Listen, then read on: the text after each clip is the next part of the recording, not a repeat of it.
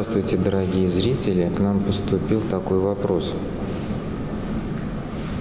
Великому посту предшествуют три подготовительные недели. По церковному их называют седмицы. Неделя о мытаре и фарисее, неделя о блудном сыне и неделя о страшном суде. Что надо знать о них? А, начиная с а, недели о мытаре и фарисее, начинается вот это вхождение в подготовительный период к Великому посту. Конечно, можно очень долго рассуждать, и тема эта поистину неисчерпаемая, но вкратце скажу о том, какая тема этой недели, этой седмицы. Неделя о мытаре и фарисее. В Евангелии Господь э, благовествует о таком событии. Вот в храм вошли помолиться два человека. Один из них был уважаемый фарисей. По всем внешним заслугам он был праведен, потому что он э, исполнял закон безупречно и милостыню давал, и регулярно в храме молился, и постился, всем это было видно. И был также человек, который э, по всему был грешник, мытарем. Обирал народ свой и все знали, что он грешник. И вот они молились, и тот, и другой. И Господь сказал, что когда они вышли из храма, Господь более похвалит и примет молитву того вот недостойного человека, который бил себя в грудь и говорил, «Боже, милостив мне грешнику», в отличие от того человека, фарисея гордого, который говорил, «Господи, какой же я праведный, я не такой, как прочие блудники и убийцы, вон как тот мытарь, который стоит и даже в храм стесняется войти, потому что ощущает себя грешником. Вот эта притча, она свидетельствует о гордыне и о смирении, о самомнении и о покаянии. Вот именно с этого и начинается исправление жизни человеческой. Едва ли на земле найдется такой человек, который может сказать, что я достиг совершенства в нравственном отношении. Нет, любой человек может сказать, что он мог бы сделать что-то большее на этом пути. Вот поэтому сделать нечто большее и необходимо. И начать это надо с того, что посмотреть, что ты не сделал. А что ты сделал, может быть, не так. Может быть, эти дела, которые ты делаешь, они лишь только лишь питают твое самомнение, и твоя гордыня жиреет, как червяк, который живет в тебе и жиреет на твоих же собственных добродетелях. Это изречение святых отцов, которые образно показывали, как может человек удалиться от Бога, думая о том, что он с Богом. То есть ложь и правда, святость и грех. Вот эти темы, они предлагаются для рассуждения христианина, и человек, который желает войти а, в делание Великого Поста, он должен начать именно с этого. Как он ведет себя. Вторая приготовительная неделя называется «Неделя о блудном сыне». Вкратце э, скажу, чтобы полностью не пересказывать эту притчу. Э, у одного человека было два сына. Один сын был э, добрый, э, благочестивый, всегда трудился хорошо, старший, а младший, э, видимо, не был так усерден и мечтал только вот того, как достигнув совершеннолетия, получить наследство и скорее уйти из отцовского дома, чтобы э, жить в свое удовольствие. Не так, как отец велит, а как он хочет. И вот когда он возрос и стал совершеннолетним, он и спросил у отца свою часть наследства – Получив ее, ушел на страну далече и там промотал с блудницами это все.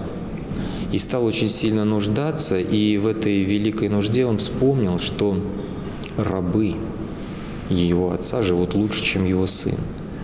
Он раскаялся и пошел к своему отцу. Отец его не забыл, он ждал его и принял его с любовью. И сын, имея глубокое раскаяние, он пал на колени перед отцом и говорит, «Отец, я недостоин даже называться твоим сыном. Возьми меня хотя бы в число рабов». Вот. И отец принял его и простил, и велел сделать праздник и дал ему одежду чистую, кормил его и радовался, и говорил, что теперь наш сын жив. Он был мертв и стал жив. То есть, оказывается, жизнь в грехах может восприниматься как смерть. Это парадокс. Как же? Ведь э, в мире нашем грешном обычно люди высоко ценят что? Жизнь с избытком. Говорят о качестве жизни, и под этим предполагают изобилие плодов земных, изобилие а, всего, что может удовлетворять различным, даже извращенным инстинктам человеческой природы. И говорят, что это хорошо. А Господь говорит, то, что высоко у людей, то есть мерзость перед Господом. И вот этот пример блудного сына ярко об этом свидетельствует. Он имел все – деньги, наслаждение, друзей, власть, мир лежал у его ног. А потом все это кончилось. И он понял, что он человек грешный, но он понял то, что он обидел своего отца, ибо таким ли хотел видеть его отец. Вот образ отца – это образ Бога, а образ блудного сына – это образ всего человечества. Это образ каждого из нас, который э, своими грехами прогневляет Господа, гоняясь за тенями и соблазнами этого мира. Вот поэтому человек, который желает э, встать на поприще Великого Поста, он должен поставить себя на э, сравнить себя вот именно с образом этого блудного сына. Ведь э, нет такого человека на земле, который честно посмотрит на свою жизнь и скажет, что он не согрешил. Разве не было такого, чтобы родители хотя бы раз были расстроены от поведения своего чада? Может быть, и не раз родители плакали, молились о том, что дети их шалили, дети согрешали. Поэтому любовь к родителям, любовь к отцу и к матери, она выражается через исполнение их воли, возвращение к ним. А ведь родители более мудрые, и поэтому они желают только добра своим детям. Поэтому, уходя из отчего дома, Человек уходит не просто на страну далече, он уходит во власть тьмы и дьявола, и там погибает. Вот поэтому возвращение к Богу, оно необходимо. Ну и вот третья а, приготовительная неделя Великого Поста – это неделя о страшном суде. За все бывает воздаяние. И страшный суд называется потому, что он страшный. А, там Тема этого дня является Евангелие, в котором говорится о том, что когда Господь придет во славе Своей в конце времен и будет судить этот мир, Он всех людей разделит на две части, как пастырь разделяет свое стадо, козлов разделяет от овец. И тем, кого Он поставит справа, Он скажет им, «Придите, мои благословенные, и унаследуйте Царство Небесное, которое я вам уготовил от сотворения мира» а тех, которых Он поставит слева, Он скажет, отойдите от меня, проклятые, в огонь вечный, который я уготовил дьяволу и ангелам его. Видите, по замыслу Бога в аду нет места человеку. Это место для злого дьявола и горе тем людям, которые туда попадают. Поэтому убояться вот этого ада, убояться вот этих соблазнов, липких соблазнов этого мира, отречься от них – и начать великое дело спасения своей души. Есть ради чего работать, есть кому работать. Поэтому человек должен понимать, что он сотворен Богом для святой, вечной, блаженной жизни, а в небесное царствие войдут только святые. Страшный суд, он э, будет иметь определенные критерии. И Господь говорит, как Он будет судить. Он с праведником скажет, «Я вас благословляю».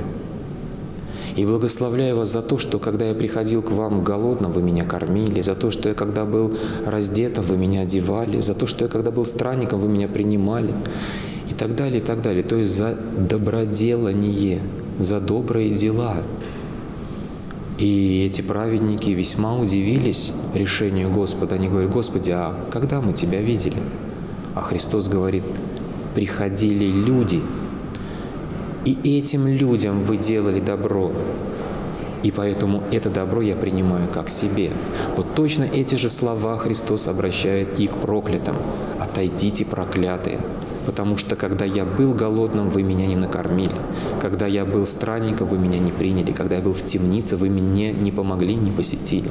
Они говорят, Господи, а мы Тебя не видели. А Христос говорит, вы это не сделали никому из тех, кто нуждался. Поэтому, значит, не сделали мне. Вот видите, критерий деятельной любви и помощи людям, он является решающим на страшном суде.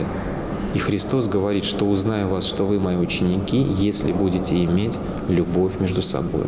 То есть, оказывается, Великий пост – это училище любви, настоящей деятельной любви, которая рождается от чистого и святого сердца, от сердца смиренного, который желает себя отдать на служение ближним. Здравствуйте, дорогие зрители! Сегодня мы хотели бы ответить на ваши вопросы, которые поступают в редакцию. Вопросы духовные, важные и злободневные. И непростые, кстати сказать. Вот, к примеру, к нам поступил такой вопрос. 15 а, февраля христиане отмечают великий праздник Сретения Господня. В этот день церковь вспоминает события, связанные а, с описанием Евангелия от Луки, встречу со старцем Симеона с младенцем Иисусом Христом в Иерусалимском храме. Почему важна была эта встреча? Ну, как известно, естественно, в Новом Завете часто нас отсылают евангелисты к Ветхому Завету, потому что в Ветхом Завете содержится пророчество о пришествии в мир Мессии, Спасителя, который избавил бы род человеческий от греха.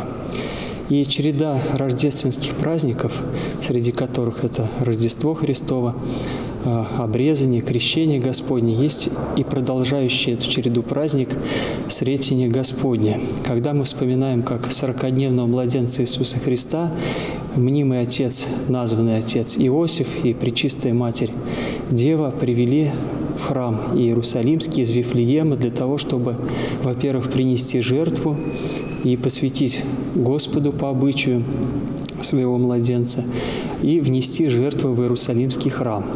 В связи с этим событием мы вспоминаем, что в Иерусалимском храме э, маленького Господа, носимого на руках Пречистой Девы, встречает так называемый Симеон Богоприимец, историческая личность, о которой мы читаем, что он был старый э, годами и ожидал пришествия Мессии. По преданию человек этот занимался переводом Священного Писания. когда он дошел до слов э, у пророка Исаии о том, что Дева родит сына, и это будет избавление для всего человеческого рода от грехов, он усомнился.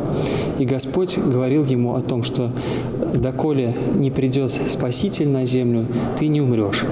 И в обетовании вот этого обещания по преданию церковному, Симеон ожидал, когда же в храм придет или принесут того, кто станет спасителем Израиля, спасителем всего человечества. И вот в этом событии мы видим встречу Ветхого и Нового Завета, встречу Господа Иисуса Христа, рожденного во плоти, и человечества, которое ожидало это пришествие. Мы помним о том, что кроме Иосифа а, Обручника, Девы Марии и Семена Богоприимца в храме еще присутствует присутствовала пророчество, пророчица Анна, которая а, много пророчествовала о том, кто же будет Христос, кем же будет младенец, принесенный в храм, что Он будет многих избавлять от болезней, но будет и камнем преткновения. Для тех будет камнем преткновения, кто не уверует в Него, и спасение для многих, кто примет Его и уверует Его словам и Его чудесам. Именно этот праздник, Сретенник Господня, он открывает для нас череду других праздников и земных событий в жизни Иисуса Христа, пред чистой Девы Марии, когда мы вспоминаем о том, что соединилась замысел Божий и с воплощением этого замысла, с тем, что пришел на землю наш Спаситель Христос для того, чтобы избавить человеческий род от греха своими страданиями, своей крестной смертью и всех призвать в рай через Пасху Христову, через Его славное воскресение.